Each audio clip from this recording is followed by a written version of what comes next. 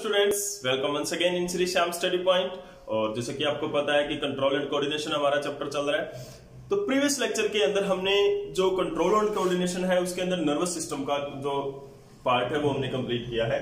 आज हम स्टार्ट करेंगे हार्मोनल सिस्टम की। हार्मोनल सिस्टम क्योंकि जैसे ही हमने ह्यूमन के अंदर कंट्रोल एंड कोऑर्डिनेशन पढ़ना शुरू किया था तो हमने दो चीज़ पढ़ी थी वहाँ पर कि एक तो हार्मोनल सिस्टम होता है जो उसको कंट्रोल करता है ह्यूमंस के अंदर और दूसरा होता है endocrine system sorry nervous system nervous system के अंदर के बारे में हमने पूरी डिटेल स्टडी की है।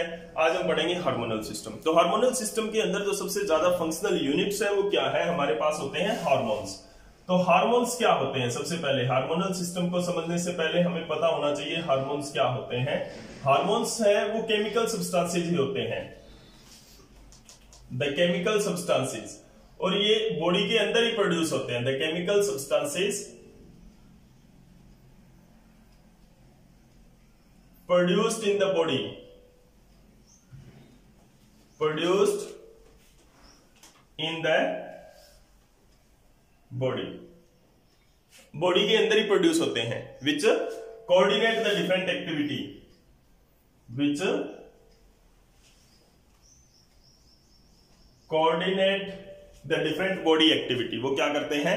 कोऑर्डिनेट करते हैं डिफरेंट बॉडी की एक्टिविटी को कोऑर्डिनेट द कि बॉडी की अलग अलग एक्टिविटीज़ को कोऑर्डिनेट करते हैं। वो होते हैं हॉर्मोन्स देखो हॉर्मोन्स को प्रोड्यूस कौन करता है? कौन प्रोड्यूस कर रहा है हार्मोन्स को? ग्लैंड प्रोड्यूस करती है। ग्लैंड भी टू टाइप्स की ग्लैंड होती है बॉडी के अंदर। क्या है? कि glands are the tissue glands क्या होती हैं? देखो। उससे पहले फ़ंक्शन ऑफ़ हार्मोन के बारे में अगर हम कुछ पढ़ें तो ज़्यादा बेहतर होगा। फ़ंक्शंस ऑफ़ हार्मोन्स हार्मोन जो होते हैं, वो क्या करते हैं? They coordinates they coordinates and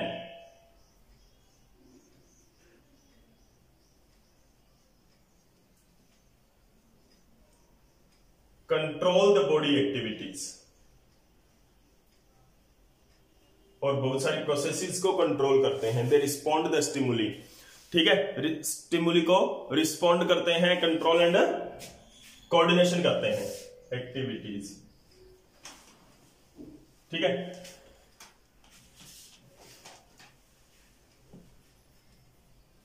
हाँ जी। ठीक है?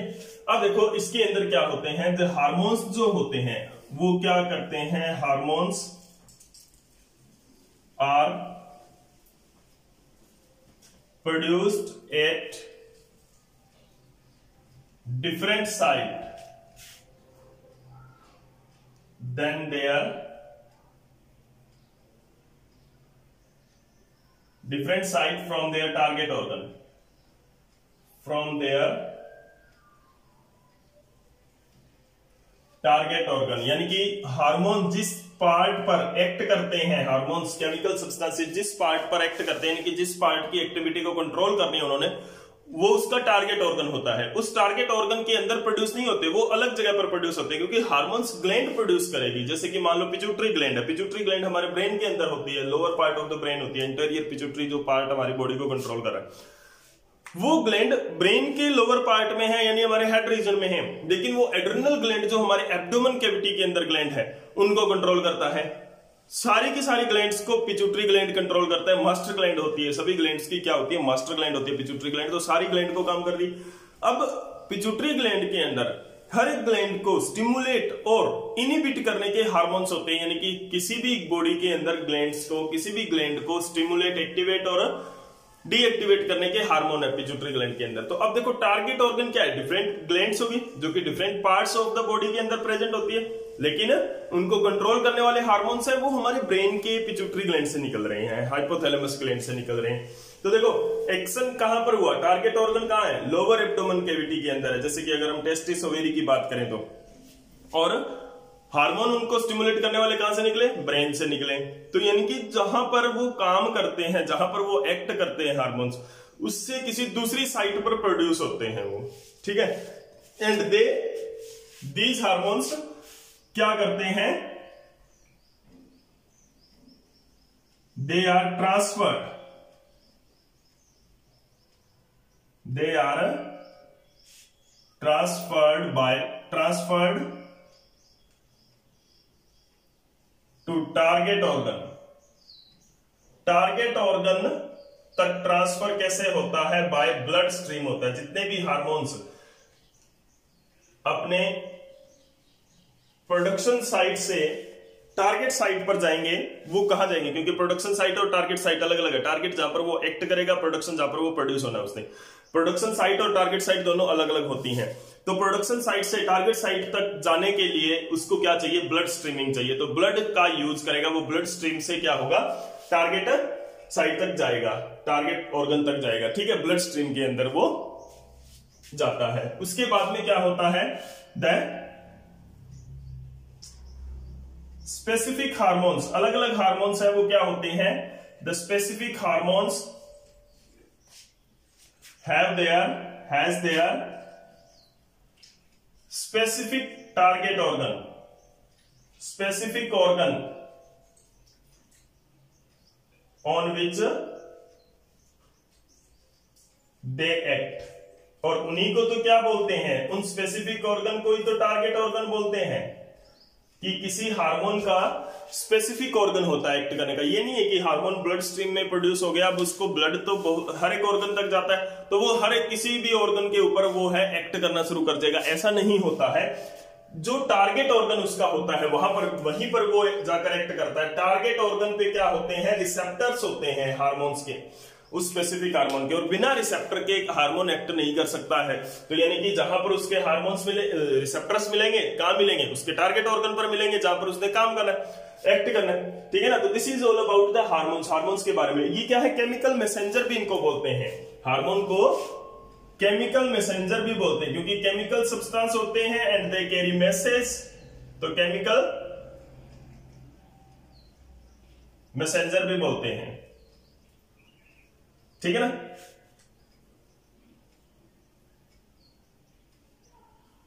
ओके अब देखो, ये मैसेज कैरी कर रहे हैं एक जगह से दूसरी जगह तक और केमिकल सब्सटेंस के थ्रू अब बात करते हैं कि ये प्रोड्यूस कहाँ से होते हैं? तो glands are the organ which produce hormones hormones को प्रोड्यूस करने वाले पार्ट को क्या बोलते हैं?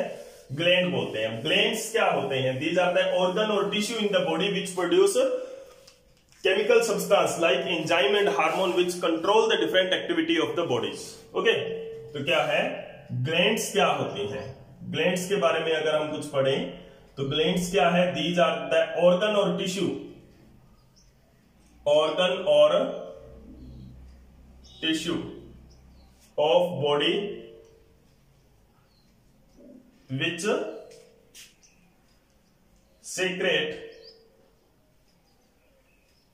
useful substances.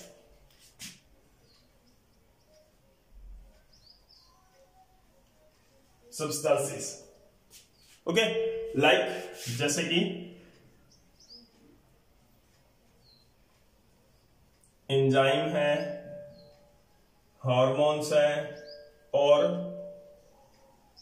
Any other secretion ठीक है?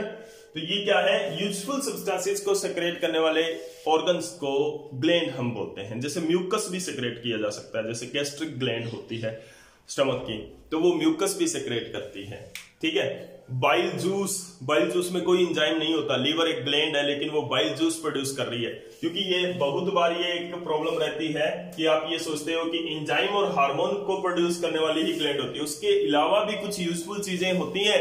बॉडी के अंदर जो प्रोड्यूस की जाती है, उनको भी ग्लैंड ही बोलते हैं, ठीक है? तो ये क्या है? जो यूजफुल चीज़ें हैं, जैसे कि मान लो म्यूकस हुआ या बाइल के अंदर, जैसे एल्केलाइन क्योंकि स्टमक से फ़ूड आ रहा है, वो एसिडिक आ रहा है, ठीक है? उसको न्यूट्रलाइज करने के लिए बाइल जूस प्रोड्यूस किया जाता है, जिसमें कोई इंजाइम नहीं होता बट वो बेसिक इन नेचर होता है, ठीक है? तो यूजफुल चीज़ को प्रोड्यूस करने वाले ऑर्गन को क्या बोलते हैं? ग्लैंड्स बोलते हैं। अब अब अगर हम ग्लैंड्स की बात करें तो ग्लैंड्स हमारे पास दो तरह की होती हैं। एक है exocrine gland exocrine gland the second one is endocrine gland ठीक है? एक्सोक्राइन ग्लैंड क्या होती है? The gland which give their secretion ये क्या करती है? Give their secretion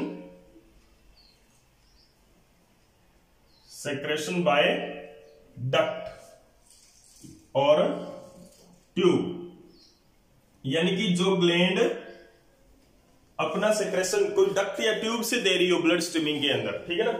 या किसी भी टारगेट ऑर्गन के अंदर जहाँ पर ये प्रेजेंट है तो ये क्या है? जैसे कि डक्ट ग्लैंड है this is the gland and this is the duct ये क्या है? डक्ट है। यहाँ पर जो भी सेक्रेशन होगा, वो इस डक्ट से आएगा। जैसे कि लीवर है।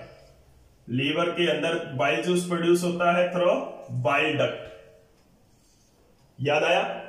पेनक्रियाज है। पेनक्रियाज के अंदर क्या होता है? पेनक्रियाटिक डक्ट होती है। स्लाइवरी ग्लैंड है।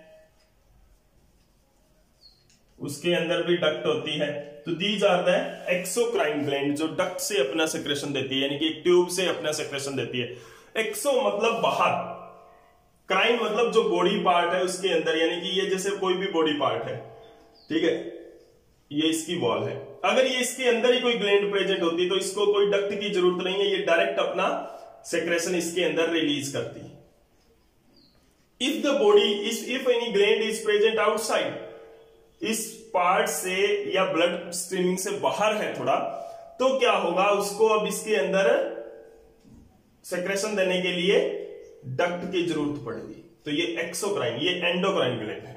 तो endocrine gland are the ductless gland यानी कि which give their secretion without direct ductless gland होती है।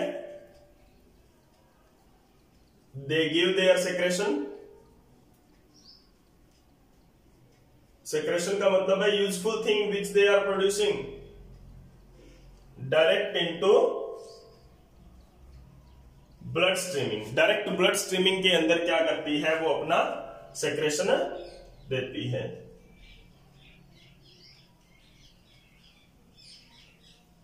जैसे कि पिचूटरी ग्लैंड है एडर्नल ग्लैंड है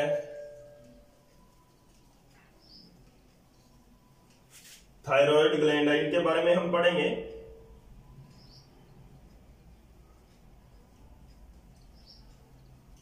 पीनियल ग्लैंड है हाइपोथैलेमस है, ठीक है पैराथायरॉइड है। तो ये कुछ ग्लैंड्स हैं जो डक्ट से देती है, यानी कि बिना डक्ट के ही सिक्रेशन ये डक्ट से देती है अपना सिक्रेशन और ये बिना डक्ट के ही देती है। ये यूजुअली क्या होती है? हार्मोन्स प्रोड्यूस करते हैं।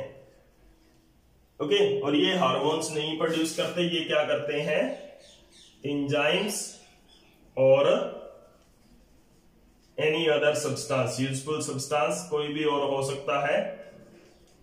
इंजाइम और एनी अदर यूजफुल सब्सटेंस ये सेक्रेट करती है। ठीक है? तो this is the endocrine gland जो प्रोड्यूस कर रही है हार्मोन्स जो हमने मेनली इसके अंदर पढ़ना है। अब कुछ ग्लैंड की और बात करें। यहाँ पर मैं एक एग्जांपल और लिख देता हूँ इसका। पेनक्रियास अब देखो, यहाँ पर एक प्रॉब्लम क्रिएट होगी पेनक्रियास दोनों साइड में लिख दिया। अब ये क्या है? पेनक्रियास एंडोक्राइन है या एक्सोक्राइन है? प्रॉब्लम होगी। अब इसके अंदर देखो पेनक्रियास है वो ऐसी ग्लैंड है pancreas testis and ovary three gland ऐसी होती हैं ह्यूमन बींग्स के अंदर, जो कि exocrine as well as endocrine होती है। यानी कि एक्सोक्राइन भी होती है और एंडोक्राइन भी होती है। देखो किस तरह से। अगर हम बात करें पेनक्रियास की the gland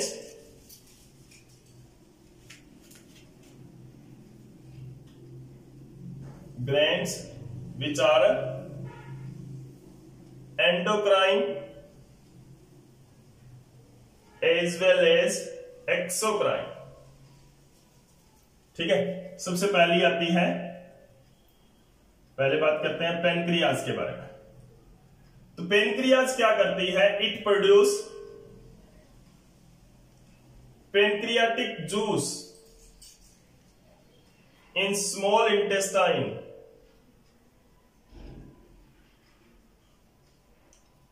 by pancreatic duct सभी को पता है? डाइजेस्टिव सिस्टम में पढ़ा कि पेनक्रियाटिक जो डक्ट की हेल्प से पेनक्रियाटिक जूस है, वो स्मॉल इंटेस्टाइन के अंदर ये रिलीज़ करती है। तो ये क्या हुई? क्या हुई ये? एक्सोक्राइन एंड दूसरी बात यहाँ पर क्या है? Pancreas secrete insulin hormone insulin and insulin hormones into direct blood stream direct blood stream के अंदर इंसुलिन हार्मोन प्रोड्यूस करती है ये which control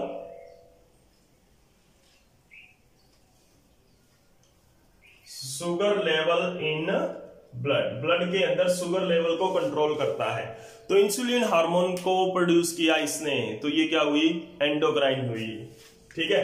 तो पेनक्रियाजिक पेनक्रियाटिक ग्लैंड है, वो क्या है? Endocrine as well as exocrine gland है। ठीक है? और एग्जांपल लेते हैं। ओवेरी इन फीमेल क्या करती है? प्रोड्यूस ओवम और एग इन ओविडक्ट डक्ट के अंदर ओवम एग प्रोड्यूस कर रही है। तो यानी कि क्या हुई? एक्सोक्राइन हुई। And it produce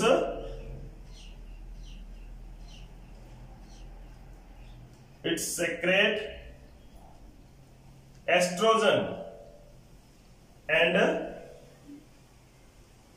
progesterone hormone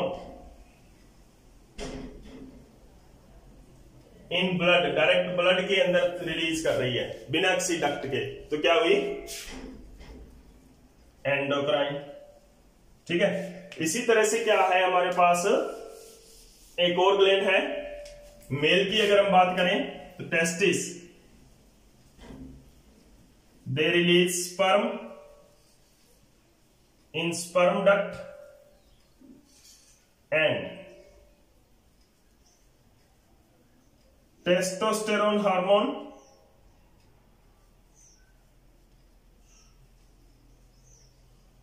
into direct blood stream तो ये क्या है? कुछ ग्लैंड्स हैं जो कि endocrine as well as exocrine है। यानी कि एंडोक्राइन भी ओवेरी है टेस्टिसिन मेल है। तो ओवेरी क्या करती है? एग प्रोड्यूस कर रही है। तो देखो, यहाँ पर गैमेट प्रोड्यूस करना, मैंने पहले ही आपको कहा था कि ग्लैंड ज़रूरी नहीं है कि ग्लैंड जो है वो क्या दे? इंजाइम और हार्मोन दे। कोई भी यूजफुल सब्सटेंस अगर वो सेक्रेट कर रही है रिलीज़ कर रही है बॉडी के अंदर तो वो ग्लैंड ही होती है, ठीक है ना? अब हम बात करेंगे इस चैप्टर के अंदर एंडोक्राइन ग्लैंड्स के बारे में, क्योंकि हमें पता है एंडोक्राइन ग्लैंड है, वो क्या करती है? हार्मोन रिलीज़ करती है और हार्मोनल सिस्टम के अंदर हार्मोन ही सबसे ज़्यादा यूज़ होते हैं। तो हार्मोनल सिस्टम के अंदर क्या है? एंडोक्राइन ग्लैंड्स के बारे में हम पढ़ेंगे तो इसको क्या बोलते हैं? एंडोक्राइन सिस्टम भी बोलते हैं because endocrine gland produce the hormones endocrine gland hormone produce करते हैं तो इसीलिए इसको एंडोक्राइन सिस्टम भी बोलते हैं। तो डिटेल स्टडी एंडोक्राइन सिस्टम की नेक्स्ट लेक्चर के अंदर पढ़ेंगे मेन मेन ग्लैंड्स कौन सी होती है? एंडोक्राइन ग्लैंड्स कौन कौन सी है, जिनके बारे में हम पढ़ेंगे, जिनके सिक्रेशन के बारे में हम पढ़ेंगे तो वो देख लो। सबसे पहले है हमारे पास पाइनियल ग्लैंड उसके बाद में हम पढ़ेंगे हाइपोथैलेमस ग्लैंड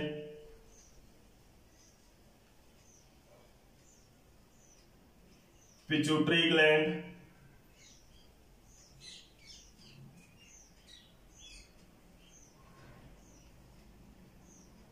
उसके बाद में थायराइड एंड पैराथायराइड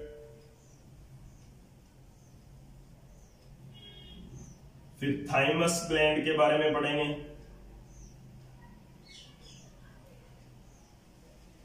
Pancreas